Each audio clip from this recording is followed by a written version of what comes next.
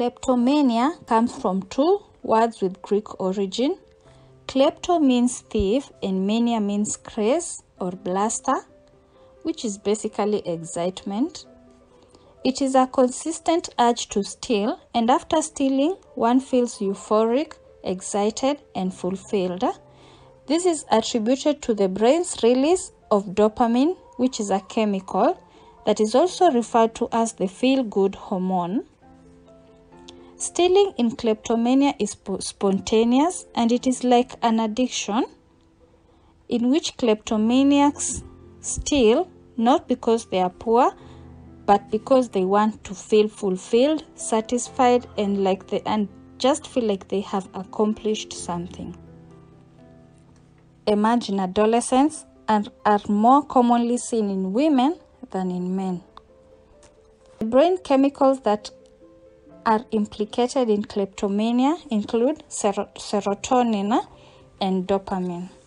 These are just chemicals that are released by the brain, eh? and serotonin regulates the mood. And some studies have shown that decreased serotonin levels in the brain causes kleptomania. That's why, in treatment of kleptomania, one is given selective serotonin reuptake inhibitors, which help restore serotonin balance in the brain. This includes the use of drugs like citalopram, escitalopram, paroxetine, fluoxetine, and sertraline. Unfortunately, when it comes to prevention, there is no known prevention way for kleptomania because it is not clearly understood like the the mechanism unto which someone starts just developing that urge to steal is not clearly understood.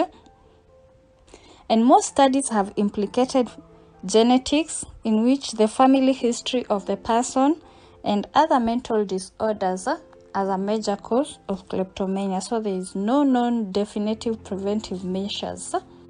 Hope you liked our video. Share this information with your loved ones and don't forget to subscribe to our channel. Thank you.